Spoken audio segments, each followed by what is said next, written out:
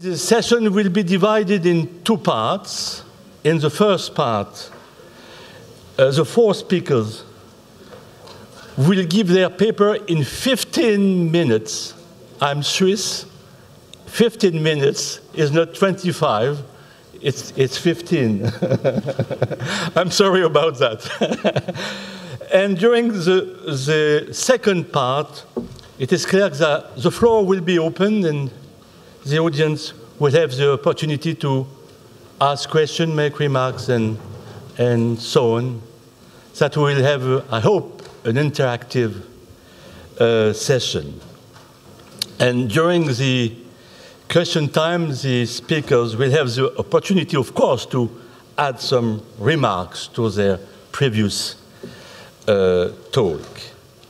Uh, in order to have a kind of coherence of the session, each speaker has been kindly invited to stress the relationships between history, memory, and politics in the framework of humanities.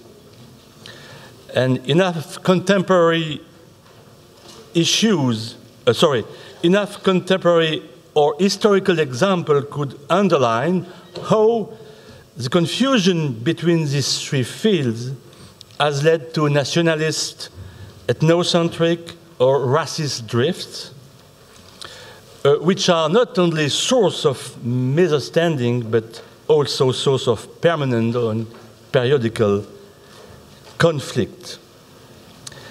And question has been addressed to the speaker, how can a better clarification of this relationship contributes to highlight the humanities? Does a lack of clarification trigger a weakening of the role of the humanities in tackling contemporary issues as, such as educational, cultural, political, institutional, or legal ones. And it is based on their scientific and personal knowledge and their own example from their domain of expertise that the speakers are invited to show how they tackle this issue and the meaning of it when defending the humanities. And I have the pleasure to invite here to introduce the first speaker. Catherine Jami is a senior researcher at the French National de la Recherche Scientifique and works at the, the joint CNRS HESS unit China, Korea, Japan, and a history of science. She has published extensively on mathematics in 17th and 18th century China, as well as on the Jesuit missionaries and the reception of the sciences they introduced to late Ming and early Qing China. And recently she has authored the emperor's new mathematic, Western learning, and imperial authority during the Kangxi reign.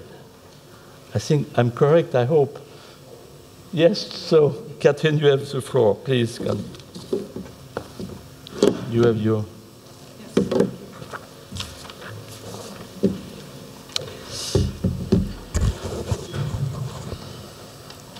Well, first of all, I would like to thank everyone who at UNESCO, at CIPSH, and in Liège has made this meeting possible. Um, it, it is uh, for me a very rare privilege to be able to share some thoughts on the topic of history, memory, and politics to do with uh, my research experience and my field. So you are warned, this is going to be about the memory and history of science and knowledge. Um, and I would like to start with a question that is just really a provocation. Who does Al Khawarizmi belong to? Now, if some of you think they have never heard the name Al Khawarizmi, all of you know about the word algorithm, which in all uh, Western European languages derives from the name of this uh, scholar. And you all know the word, word algebra, which uh, stems from the title of his most famous book. Um, if one looks um, for memory and national memories, I find that stamp collection is a very good place to start. Uh, who in the past has put Al Khawarizmi on its stamps? I have um, found two. The first one on the, um, on the left was uh, issued in the Soviet Union in 1989 to celebrate the 1200th anniversary of Al Khawarizmi. His date of birth is not very precisely known. And more recently, um, Uzbekistan in uh, 2014 has also uh, issued a stamp. Indeed, as his name indicates, uh, Al Khawarizmi was born in the region of Khwarezm, which is in today's Uzbekistan. So, yeah, you could say he belongs to Uzbekistan. But when you add to this that he died in Baghdad, that he was from a Persian family, and that one of the uh, mathematical methods he promoted was something he called Indian calculation, you begin to realize that there is, at the very least, uh, multiple ownership there. And more generally, then, the question is um, does knowledge belong to someone or does uh, knowledge belong somewhere? How much sense does it make to talk about Greek science or Chinese medicine, Indian mathematics, Islamic astronomy, or European philosophy? To, to, to, uh, you, to, to, to place here just a few of these phrases that one hears all the time and um, uses without much thought. Are they useful? Are they harmful? Are they misleading? What, what, what do we do with these? Um, when one thinks of the memory of the sciences, uh, I would say it's the same old story, and I have heard it told yesterday, or part of it. One starts in ancient Mesopotamia, and obviously then one goes on to ancient Greece. Um, some of the story go through Islam. There are still some deniers, people who say no, Islam was not important, not essential in the transmission of ancient uh, science. Um, then it goes on to Europe, and from Europe it spreads worldwide, and this is what we know as the glorious modern universal science. So this is the, uh, I would say, the dominant narrative, uh, and as such, it suggests that science, being the place of science, is part of Europe's uh, constructed memory and part of its identity, right? We, here in Europe, are the place where science somehow originated, grew, and from there it spread all over the world.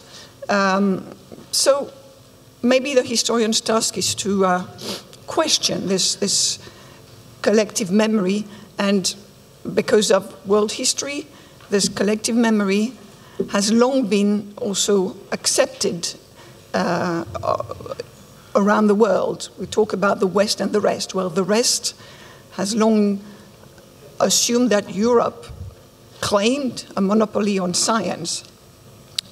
And um, to try and show how these things can happen, uh, I would like to talk about uh, how knowledge that comes from outside can be appropriated appropriation is a very important notion. It has been mentioned here yesterday that a book is nothing if it is not read. Well, knowledge does not exist out there. Either we make it ours or it, it simply doesn't exist. We know of traditions that die out, so knowledge has to be alive, it has to be transmitted, shared, and as we do this, we always reshape it. And I will give you an example from. Uh, what are the, the, the, part and the place and time in the world I have been working on for some time, and that is early modern uh, China, 17th century. Um, the first thing I want to state here, all of you know it, but it's very important for my story China was never a Western colony. This means that the question of who could reside in China was ultimately up to the Chinese civil service, extremely well organized, and if things had to move that far up, to the emperor. So residing in China was not to be taken for granted, and also to decide what was going to be taught at school, what was to be on the examination curriculum, uh, we're talking here about imperial China, right? Not of the 20th century. This was also an imperial decision, and outsiders could be there as long as they respected this and accommodated. Um, this being said, the presence of Jesuit missionaries in China is, of course, part of um, European overseas expansion in the 17th century. To be more precise, the first Jesuit missionaries came on Portuguese ships and transited uh, via Macau, where they had to stay until they were granted permission to enter China. Be that as it may, by 1645, the new uh, dynasty reigning in China, the Manchu Qing dynasty, promulgated a new calendar. And this new calendar, which, with a couple of years' exception, lasted until the end of the imperial age, was calculating, calculated according to Western method. And here I just translate a Chinese term that was used at the time Western method. Um, this, of course, raised major issues and there were controversies. Um, the question that Chinese literati asked was can one entrust astronomy to outsiders who do not understand its fundamental function? What was the fundamental function of astronomy uh, in imperial China? Well, the, the astronomy and the calendar that were a monopoly of the emperor were the means by which the human realm uh, was made to uh, work in rhythm that were in harmony with those of the cosmos. For example, when was the winter solstice? This was the day when the emperor must accomplish certain rites in order to ensure a good harvest for a, the following year. So clearly, the Jesuits dismissed all these rituals as superstition, so the Chinese scholars were right to say they really don't understand. So, was it safe to and, and appropriate for these barbarians, according, uh, admittedly peaceful, but these barbarians to be in charge of such an important thing as the calendar. There were two types of answers to this question. Um, the first one, and is the, is the earliest one, but it's also the one that was the minority, is a form of universalism. The symbol claimed that numbers and principles are the same in China, in the West, and everywhere in the world. So, yes, this is what we call universe, the universal validity of scientific knowledge. But a more uh, a widespread um, reaction was to uh, look for precedents and say, well, this knowledge, it may now come from abroad, but in fact, we've always had it. And Chinese uh, scholars versed in astronomy reread uh, Chinese classics in astronomy and interpreted them not according to earlier commentaries, but in ways that made them compatible with Western uh, ideas. And then, closer to them, they found historical evidence that notions such as the sphericity of the Earth were already present in China. Indeed, they were already present in China because in the 13th century, the Mongols uh, made uh, a number of Persian astronomers uh, go to China and work there. So we are back, in a sense, to Al Khawarizmi.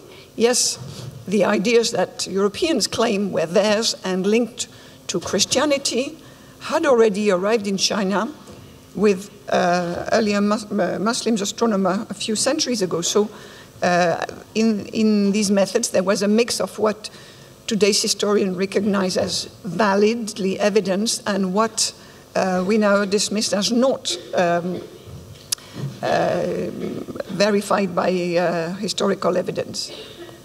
So this idea of the Chinese origin of Western learning turned what was potentially a threat to established learning into first a tool for retrieving antiquity, um, and secondly, uh, elements that reinforced established knowledge. Now, what is interesting is that in the 20th century, uh, there was a very vocal advocate of this notion that Chinese uh, Western knowledge uh, originated in China. And this was Joseph Needham. And I think I will say a few words of Joseph Needham besides being a biochemist and the founder of the historical study of the uh, scientific and technical tradition of China, Joseph Needham is also known as the man who put an S into UNESCO. He was a colleague and friend of Julian Huxley, the first general director of UNESCO, and he was also the first director of the science section of UNESCO. And it, the story goes that it was him who told Huxley, You do not want to found UNESCO, you want to find UNESCO. And for us who are uh, here, gathered here today to uh, discuss, promote the humanities, I think we have to remember that the humanities, science, culture, and education, will fight and live together and not separately. So I, I would say here, science is not an enemy or a competitor of, of the humanities. It's all part of uh, human knowledge. Joseph Needham started from um, uh, um, something that Francis Bacon wrote in 1614, and here I quote It is well to observe the force and virtue and consequences of discoveries, namely printing, the compass, and gunpowder. For these have changed the whole state and face of things without the world throughout the world, sorry, the first in literature, the second in navigation, and the third in warfare. And uh, Bacon goes on to say, well, these are of obscure origin. What Joseph Needham did was to prove that these three inventions and many others were actually um, the first uh, discovered in China and from there went transmitted to Europe. Um, so um, to give you an idea of his major work, Science and Civilization in China, that's to date 24 massive volumes. Uh, Needham's enterprise was, as he phrased it, an enterprise of titration. Titration is a chemical process by which, given a solution, you don't know what's in there, you um, perform certain tests on samples of it to establish what concentration of various elements is in this solution. So the, the, if our solution is global universal science, the question is how many, uh, how much Chinese contribution is there to this solution? And that was the spirit in which uh, Joseph Needham worked. Um, so since there, there is no question that China has a scientific and a technical tradition. And I think it's a good example that proves that where people think that there is no scientific and uh, technical knowledge that is rooted locally, it's just because we haven't looked. And there are still many, many uh, parts of the world, I would say, for which we need to bring to light how much they have contributed. So, a few words in conclusion. Um, what I have tried to say here is that historians and history sometimes have to work against memory. And I think it's an essential task of the historian. Needham has established historical facts. He has documented the fact that printing was present in China several centuries before it was in Europe, and so on and so forth.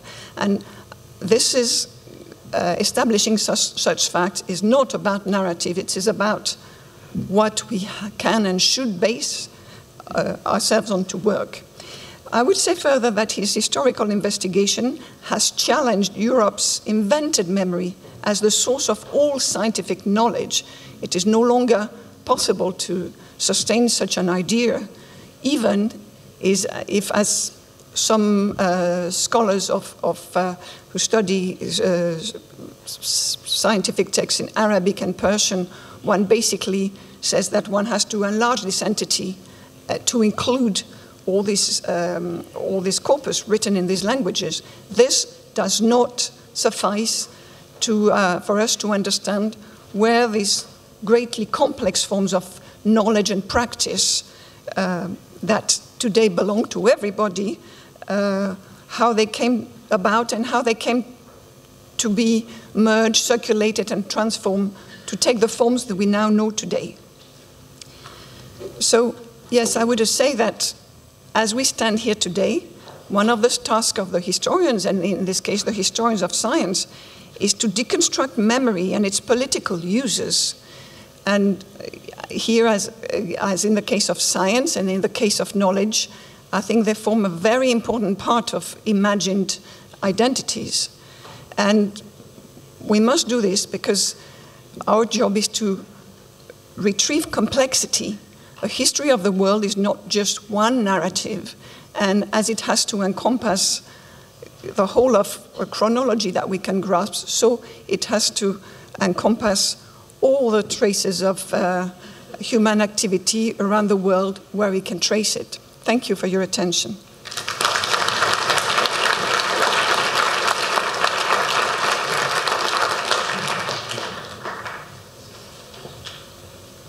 Thank you, Catherine, for respecting the rules.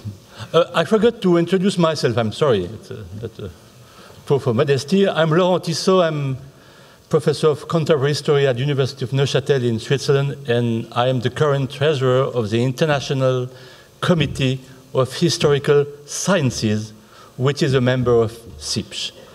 Now, I, I have the pleasure to introduce Chris Carey, uh, Uh, who is Emeritus Professor of Greek at University College London. He had worked at universities in UK and the United States and given courses in the Netherlands, Hungary, Greece, and Serbia. And his research interests include Greek oratory, law, tragedy, and comedy, historiography, and lyric poetry. So you have the floor. Yes, thank you.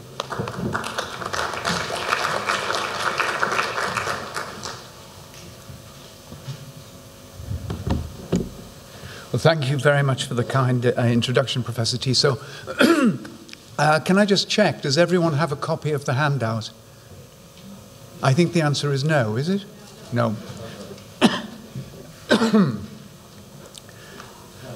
don't worry if you don't have a copy of the handout. It's simply there to allow you to test if I'm telling the truth uh, against the, uh, the evidence.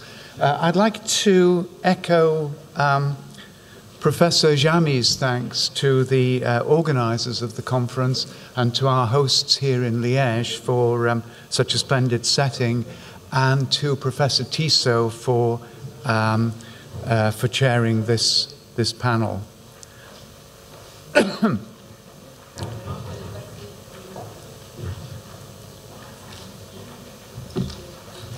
Nobody is going to hang you uh, in a humanities uh, panel for claiming that a knowledge of history has value, even if, and I come back to this later, one is forced to ask, whose history? the examples I want to give you come from a world separated by, uh, from us by millennia, but in many respects so, so close that you could almost reach out and touch it.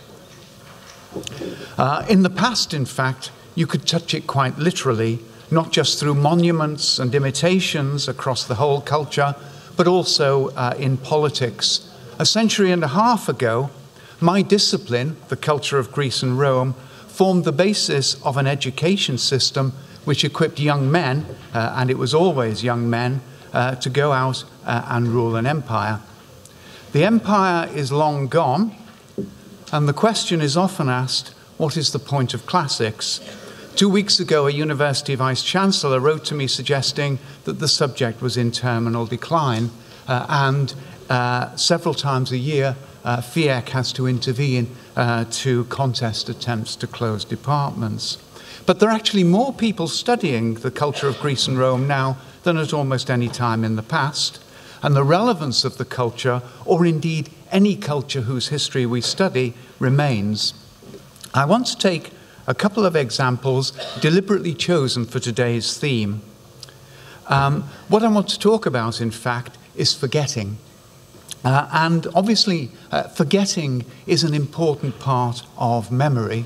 We need to forget simply in order to uh, manage the vast amount of information in our lives. But communities too uh, need to, or often choose to, forget. And I start with one of the most famous examples in the history of the Athenian democracy, and that is text one on your handout. It's the amnesty which ended the civil war in Athens in 403 BC. In 404 BC, Athens, under pressure from Sparta, voted into power a junta of 30 men. This group was known collectively as the 30. Moderns tend to call them the 30 tyrants, but the Athenians always just called them the 30. And they instituted a reign of terror, which lasted a year. Uh, in this reign of terror, the mass of the population uh, were barred from the city, they were deprived of political power, property was systematically plundered, and the later estimate was that up to 1,500 citizens, at least 5% of the adult male population of Athens, was executed, uh, usually without trial or with some sort of rigged trial. Democracy was only restored by force, by a pitched battle. And inevitably, there was a lasting bitterness, not just against the ringleaders, but against the people who, in one way or another, had collaborated with the regime. The situation is a familiar one, familiar from many parts of Europe after World War II, from South Africa after the end of apartheid, from the Balkans after the wars following the disintegration of Yugoslavia, from Northern Ireland uh, after the peace agreement uh, between the, uh, uh, the warring groups. The Athenians were faced with a problem. How do you reconstitute a fractured community? How do the victims of abuse live alongside those who have orchestrated or collaborated in this abuse? As part of the process of negotiating peace, the Athenians agreed an amnesty. Actually, the word uh, uh, in Greek uh, they used was not amnesty because the Greeks were not yet using it. Uh, amnesty, of course, is forgetting. The standard language they use is not remembering harm done or wrongs done. But even this is too precise because the Greek word is ambiguous. It can mean not mention, not remind people. So they know that this is not really forgetting at all. It's about creating barriers to public recollection. It's about collective falsification, as it were, of memory, about not bringing legal action or taking physical revenge for the immediate past, whatever one may feel. There had to be exceptions, including the ringleaders of the coup, but even they could claim the amnesty if they were prepared to submit to an audit of their conduct and retrospectively legitimize their actions. The other uh, exclusion from the amnesty were people who had killed with their own hands because uh, homicide in the ancient world pollutes. This was nothing new in the Greek world. If you look at text 6, I give you an example from about 20 years before, where the Athenians concluded a similar amnesty uh, uh, in a treaty with a rebel city uh, in the north. And the practice was equally common across the Greek world. Text 7 on your handout gives an instance from the city of Megara in uh, central Greece uh, after um, uh, factional fighting. If you look at text 7, you'll see that not all amnesties worked. As can be seen here, uh, the party with the upper hand immediately turn on their opponents and use rigged trials to kill them. The Athenian amnesty, however, held. Uh, it did hold, uh, not perfectly. If you look at text 2, 3, and 4, you'll see the evidence. It did not hold perfectly because we still find people using events, bless you, uh, under the oligarchy to prejudice juries against their opponents. But it did hold in that we don't find people formally charged with offences, and even sources which are unfavourable to the democracy talk very favourably about the outcome. Uh, I stress text 4 in this context because the writer is someone who was uh, very unfriendly towards democracy as a system. The Athenians did, however, have very good reason to make this amnesty work. They had experienced another coup seven years earlier in 411 BC. That coup too had failed, but the Athenians took steps to exclude from political life people implicated in that coup, and it seems that many people simply shunned public life uh, and out of fear of collective hostility.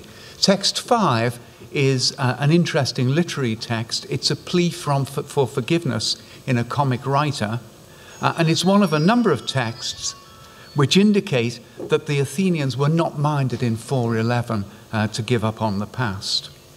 The residual um, resentment probably drove many people into the arms of the oligarchs and helped to uh, create a basis for the later coup. The Athenians then in 403 had learned the lesson and they, implied, uh, they applied the lesson with the general amnesty. The other reason for leniency this time was that the 30 took steps to implicate as many people as possible in the regime. Uh, there were too many people tainted in one way or another with the regime, as for instance in East Germany after the fall of the Berlin Wall. Uh, amnesty was far and away the safest course if one wanted to uh, create a world worth living in. I skip my other examples because I'm aware that I'm running uh, a little out of time. Uh, my conclusion is not a very profound one.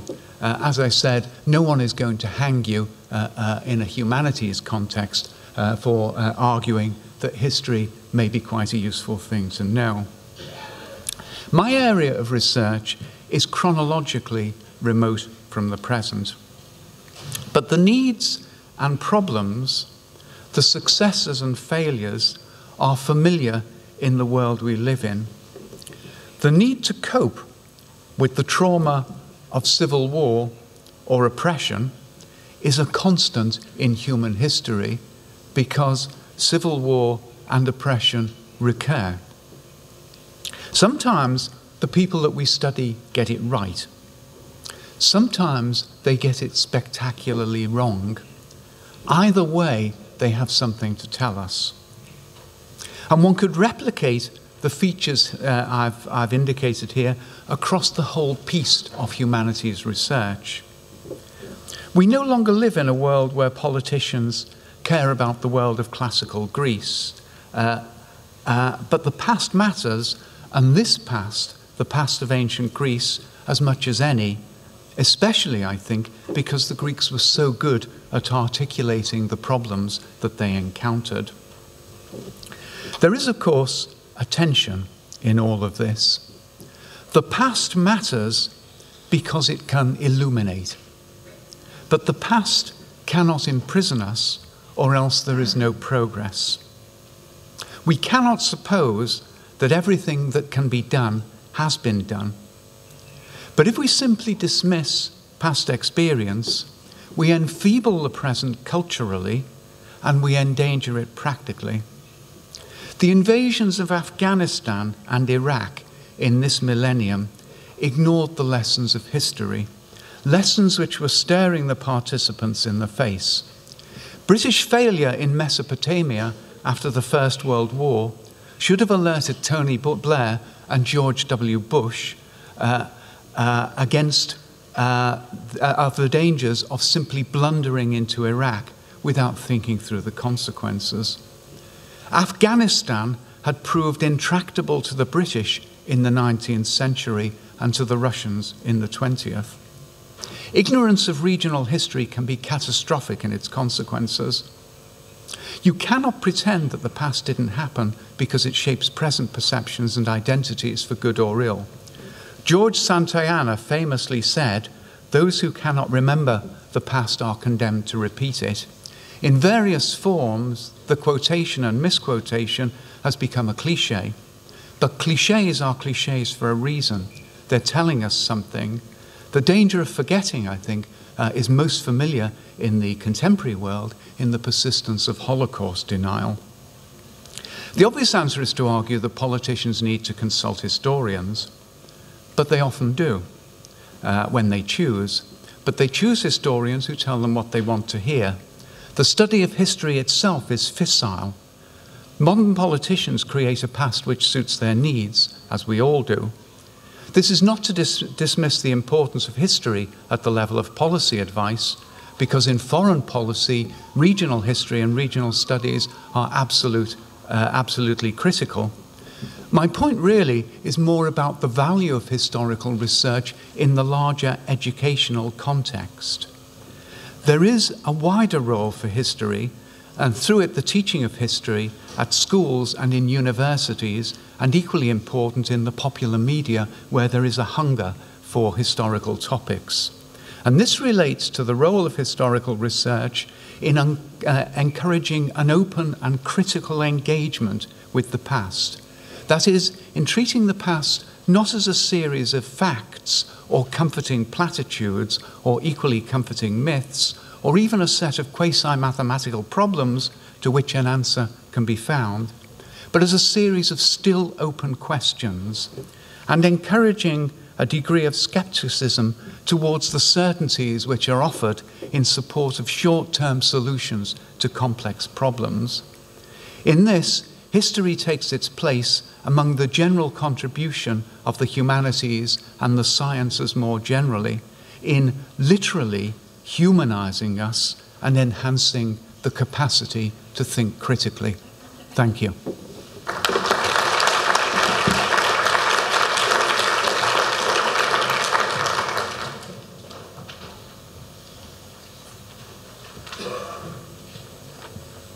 Thank you, Chris, for this talk. Now, I have the pleasure to introduce the third speaker of this morning. This is Mariët Westermann. Uh, Mariët Westermann directs the Andrew Mellon Foundation's grant making and research programs. In 2014, she worked with the Institute of International Education to develop and launch the Artist Protection Fund, and previously she was founding provost of New York University Abu Dhabi and director of New York University's Institute of Fine Arts. An art historian, she is the author of A Worldly Art, The Dutch Republic, 1585-1718, The Amusement of Jan Steen, Rembrandt Art and Ideas Dutch, uh, no, sorry, Rembrandt Art and Ideas and Anthropologies of Art. And now she is writing a book on Dutch art, urbanism, conflict, and ideas in early global modernity. Please, Mariët, you are.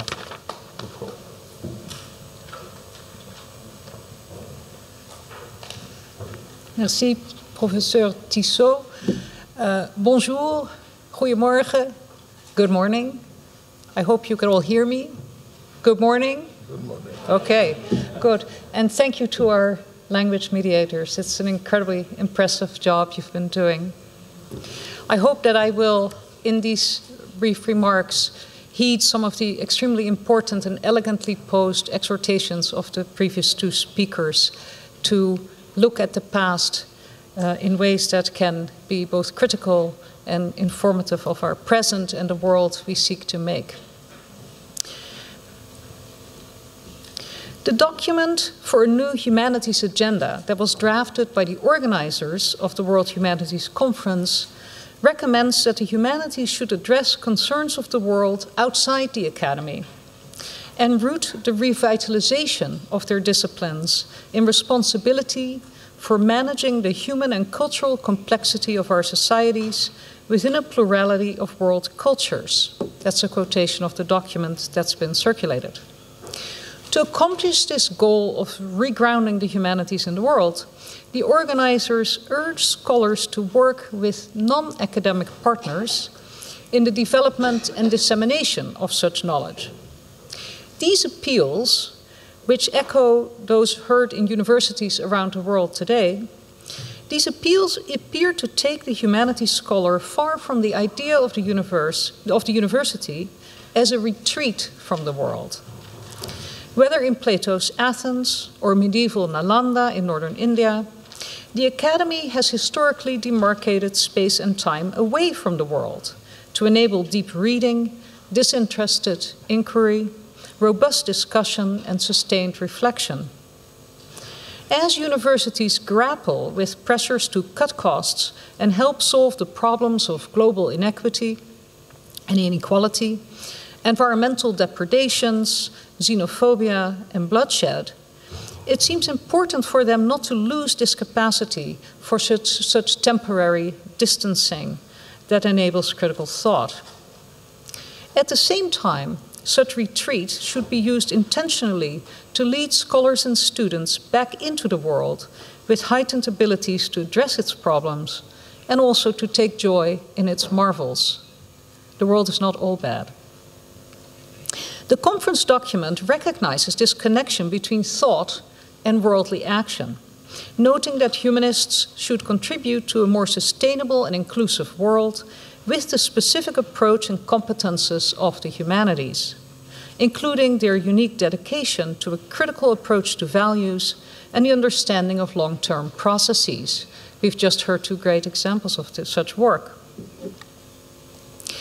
The Mellon. Oops.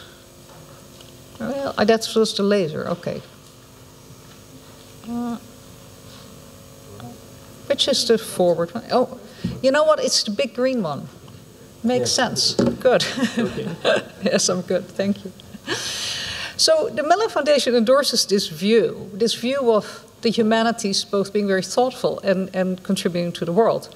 We endorse this view because, as you can see from our mission statement, we exist to reinforce and defend the humanities and the arts as resources for human flourishing and for diverse and democratic societies.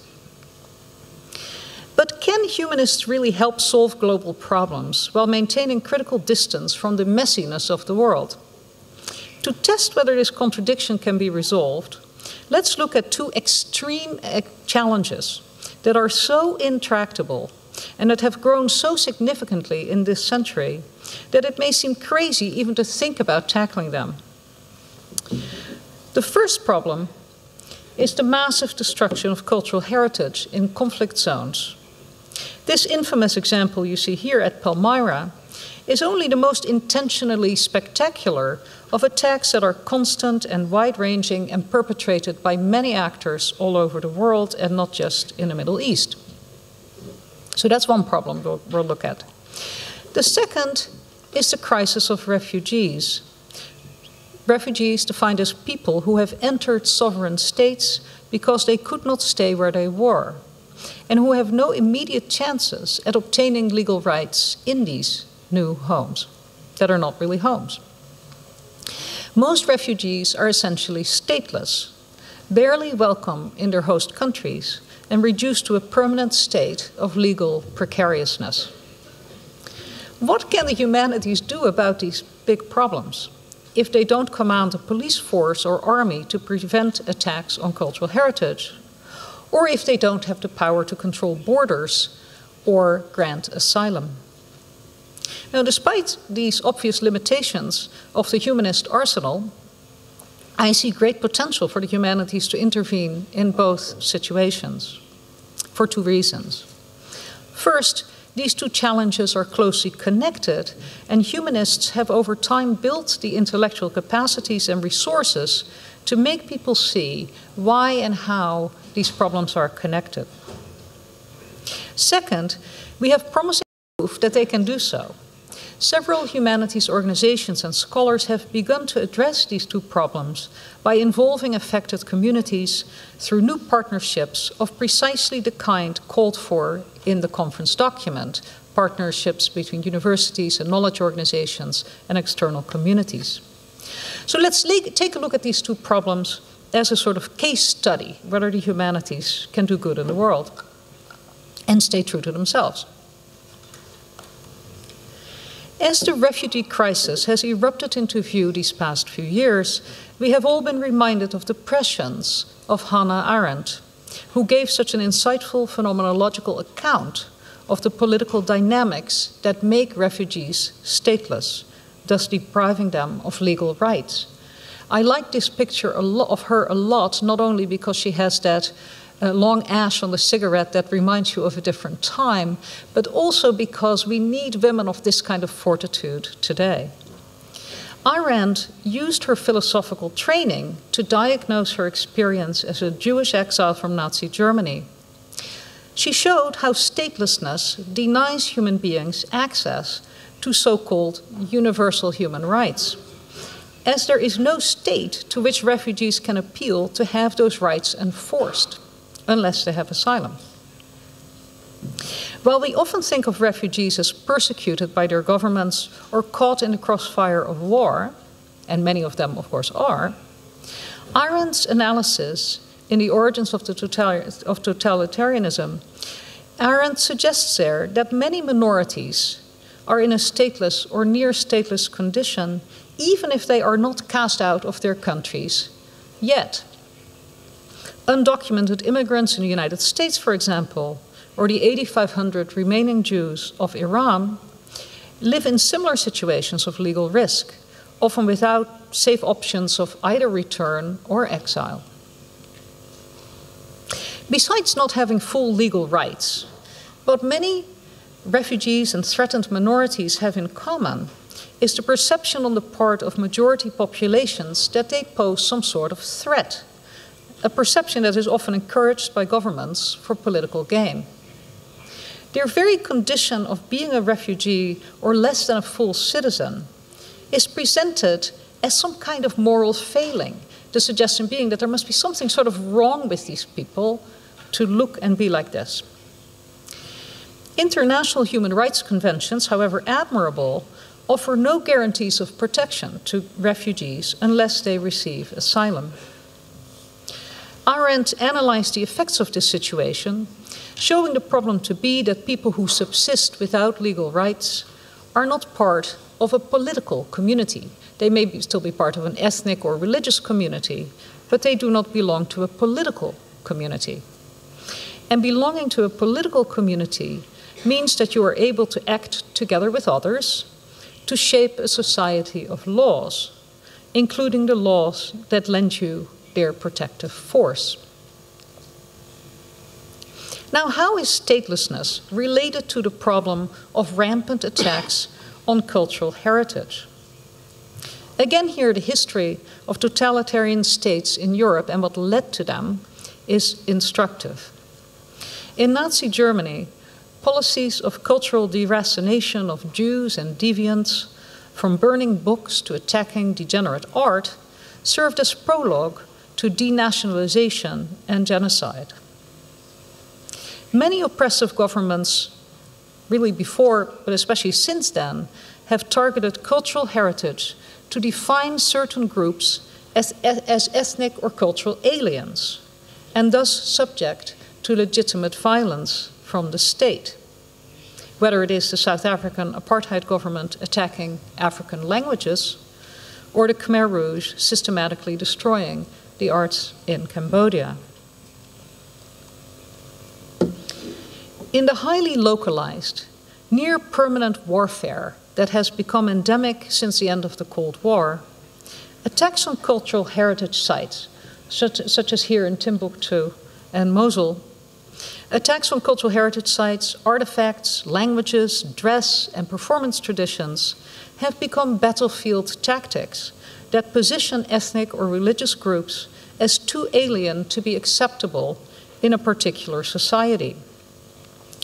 The philosopher and legal scholar Mary Kaldor at the London School of Economics, Mary Kaldor has shown that what she calls these new wars are fundamentally different from the 19th century conception of formally declared wars between sovereign states. Wars that were conducted by professional armies that could, in theory, be held to the international law of war. Those old wars, while often exceedingly destructive of life and treasure, did come to declared ends in the new wars, whether in the Democratic Republic of the Congo, Ukraine, Syria, or Libya, multiple state and non state actors vie for little pieces or big pieces of political and economic power in regions where the state is usually weak. These actors have complex interests in keeping armed conflict going often having been victims of it in the first place. And that's why you see these conflicts drag on and on and on, and formal processes like ceasefires often not taking hold. These, con these conventional techniques of uh, international law, Mary Kaldor has shown, really don't work in this new complex setting. And in these new wars, factions use non conventional weapons to delegitimize opposing groups often using a crude identity politics to reshape conflicts that are political in nature and to reshape them then as fundamental clashes of religion or ethnicity. Such targeting of others helps maintain group loyalty and recruit others for the struggle. Warring parties in these settings strive to reserve the resources of the state for their own constituencies that are ethnically or religiously defined. And if they don't have those resources, they augment them by pillaging the property of others. Shared interests among people of different ethnicity or religion who were once peaceful neighbors are then quickly forgotten, as has been the case in Syria, Iraq, and Ukraine, and was, of course, true in the former uh, states of uh, the, the states making up the former Yugoslavia. The impoverishment and targeting of minorities or losing parties is often an intentional strategy to gain territorial control, hastening the forced displacement of these unwanted others. Attacks on cultural heritage go along with and encourage the debasement of competing groups, and of course intimidate them into exile or submission.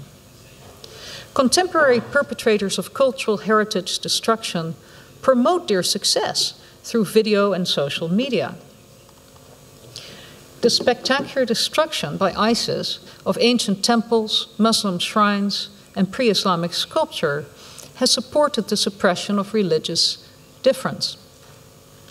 The group publicly, publicly executed Khaled al Assad, the chief archaeologist of Palmyra, to signal what would befall, befall resistors as he was.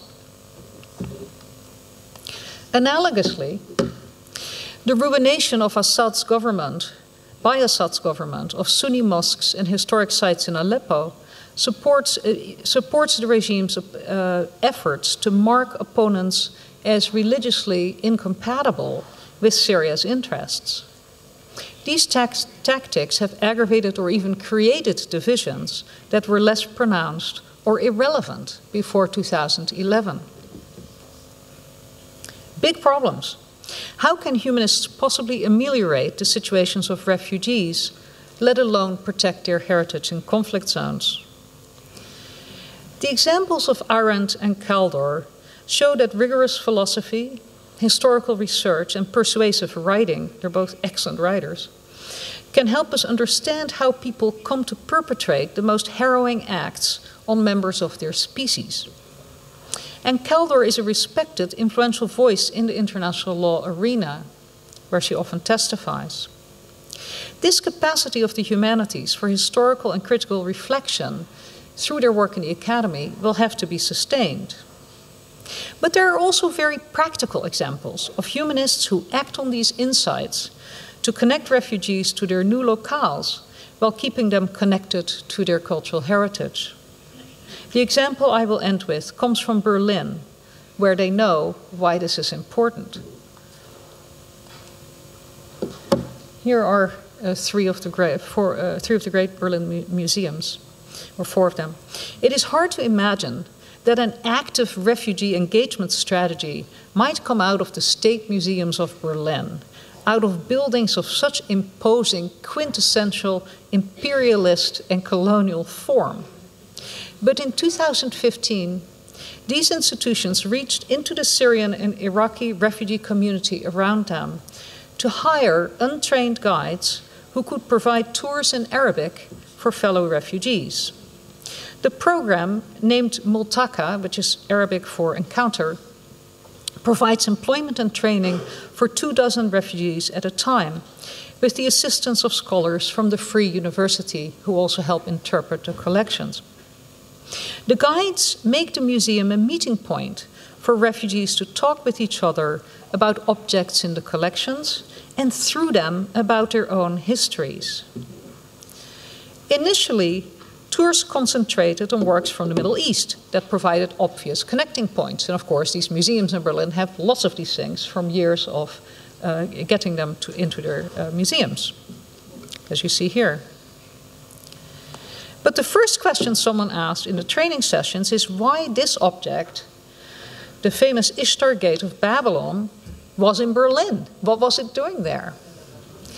Soon, as you can imagine, uh, the, the, the, this, this program is very good for the museum as well. They're running humanities seminars over there. Soon the tours encompassed works on Christian themes, where refugees of different faith traditions discuss what their religions have in common and what issues have separated them, often only recently.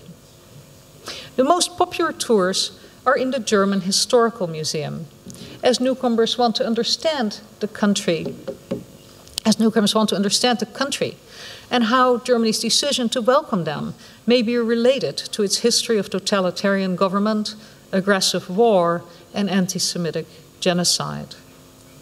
To date, almost 10,000 refugees have participated in Multaka, uh, and the museums are planning programs in German by popular demand, which will bring together refugees and long standing citizens.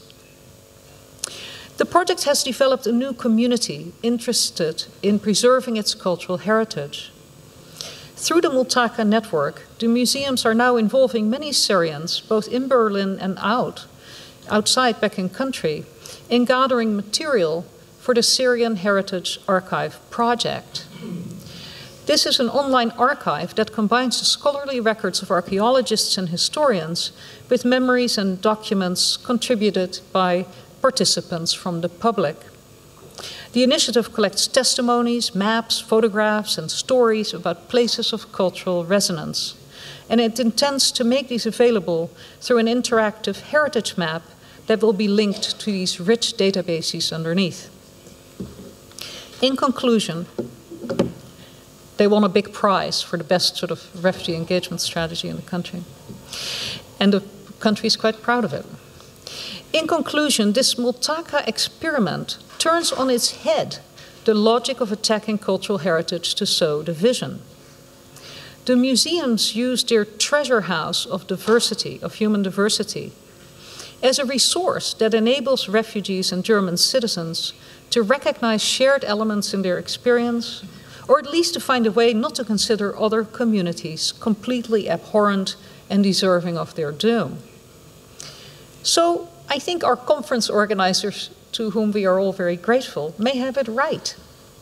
Humanities inquiry in the academy can be of the highest relevance to our social world. Humanists have at their, at their, disposal the resources of political philosophy and oral history, traditions of writing and public engagement, collections of libraries and archives, and the communicative potentials of the arts to put the humanities to work on tough questions. The most precious resource of the humanities, however, are the students who march into our seminars and workshops every year and join our projects and online communities. Those refugee guides in Berlin, for the most part, are of that generation. Students want to work with us on solutions for what are, in the end, mostly their futures. They want us to do better.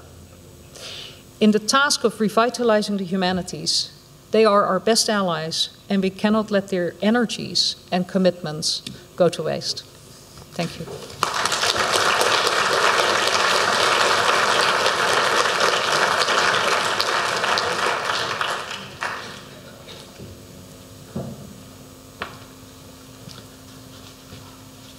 I introduce you now as the last speaker of this session, John Ayotunde Isola Bewaji.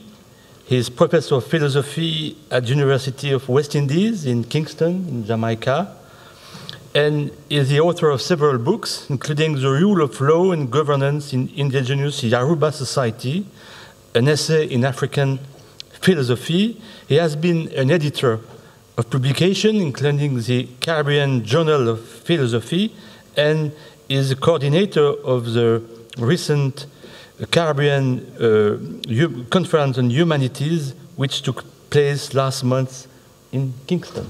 I think that you have the floor, please.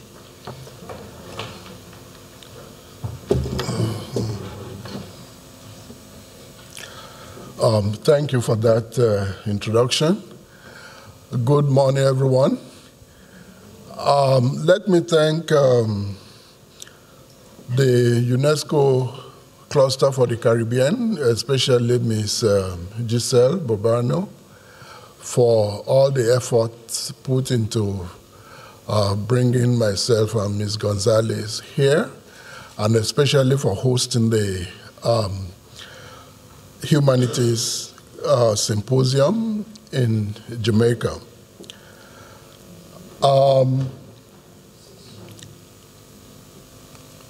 okay, I'm just trying to see that um, it works. Yeah. So the the background to my presentation is what has happened to humanities in contemporary society, especially in what I regard as um, societies of the South, uh, meaning Africa, Latin America, and the various other so called third world societies.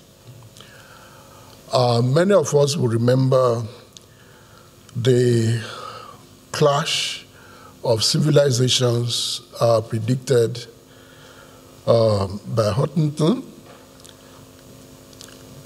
the human diversity has always been with us and is not going to go away. And as such, the only clash that we are experiencing and have always experienced has been the clash of greed and its assault on our collective humanity.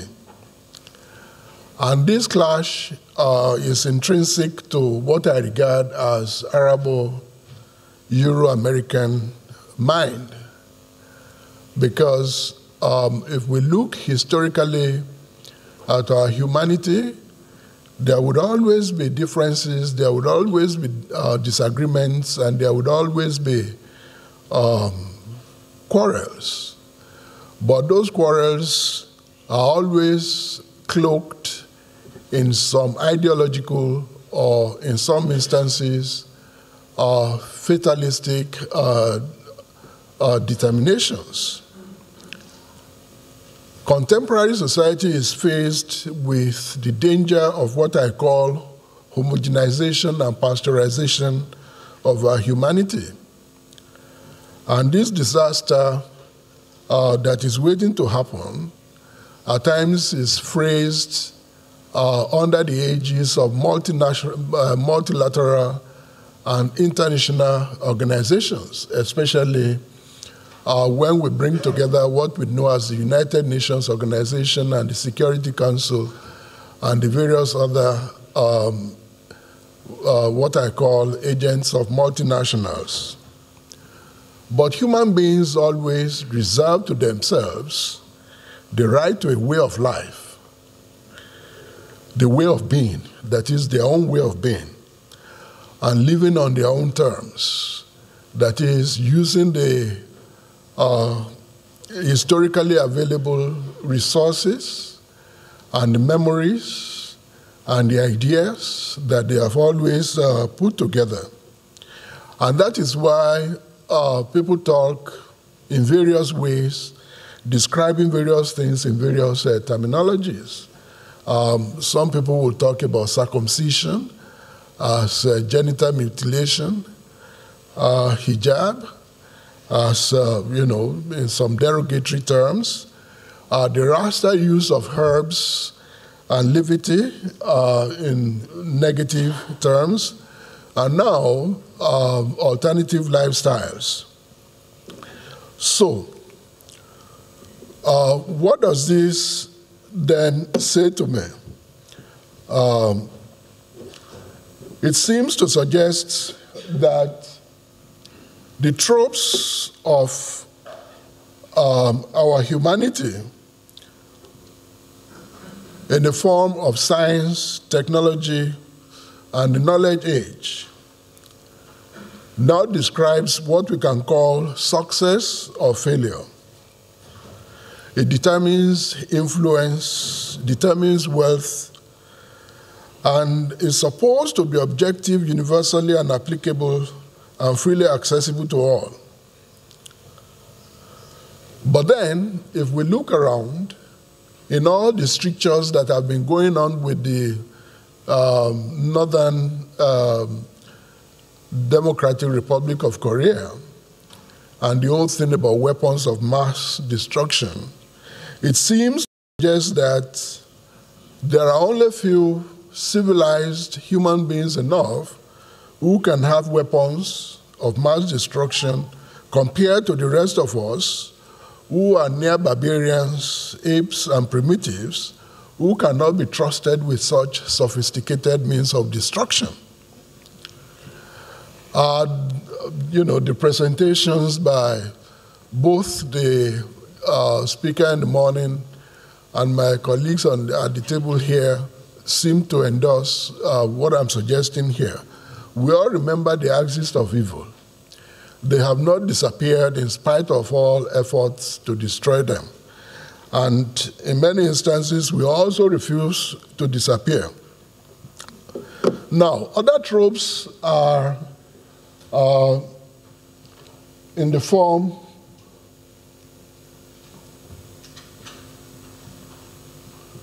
This thing seems to move so quick. Oh, yeah, sorry about that. So, um, what I was then trying to say is that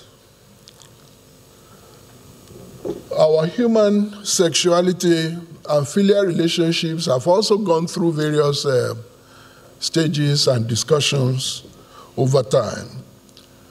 Uh, heterosexuality, homosexuality, monogamy, uh, polyandry, polyamory, uh, homophobia, pedophilia, misogyny, sexism, and uh, various notions of family, uh, nuclear, extended, communal, and the various value systems that surround their description. But then, if we, if we look then at, uh, let me go on to the next one, which is religion. When we talk about religion, it is a case of Christianity, Islam, and the rest of our humanity. Many people talk today about uh, jihads and those things. We forgot about the Crusades. And we also seem to forget that um, if we look very carefully, it was Islam and the Moors who actually took civilization back to Europe. And consequently, our, the humanities and our humanity at times refuse uh, to be subsumed within the paradigms that are set for it. Now, let me talk a little bit about uh, Boko Haram in my country, Nigeria. I find it very ironic that these are a group of people who claim that they hate everything Western education.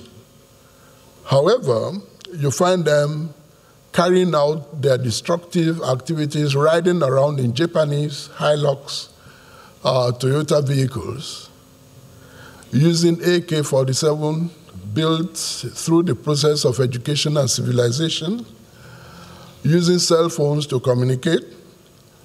And I say to myself, if indeed uh, Boko Haram is, is a genuine uh, means of actually perpetuating a way of life, why do they need all these uh, things to conduct uh, their wars? And I ask, when they say holy wars, I ask whether it is actually holy or unholy. But then I come to the uh, feeling that the whole thing is about resource control, it's about mind control, it's about power. And it's all always uh, a, fun- a function of deception um, it's a function of um, interests and it's a function of use of people and of ideas. And for that, I say that we are not in any uh, thing about any clash that is based on any ideas or technology. And now we, we face a new situation where we talk about making America great again. I hope we all, you know, uh, probably in Europe that doesn't resonate, but being at the backyard of America, when America begins to sneeze, uh, we in Jamaica, we catch cold. Um, if you make America great again and Europe for Europeans, then what happens to Africa and the rest of us? Um, we are now facing a new scramble for Africa. Uh, a new Berlin conference is taking place. Just uh, the other, just last week, China established its uh, um, outposts in Djibouti. Uh, you know, building a base there. America has its own base there. All of them have their bases. And France has refused to let any of the colonies, ex colonies in Africa, have a central bank. They all bank in, in, in, in France. So if you, if you begin to look at all of this, then the issue is what do we do? Now, the, the problem is that it's not as if most of us from the so called third world societies don't understand what we need to do. Especially, let me take education. We know that education begins right from conception. And we know that you can begin building a viable uh, humanity right from there. And we know that early childhood education is very critical.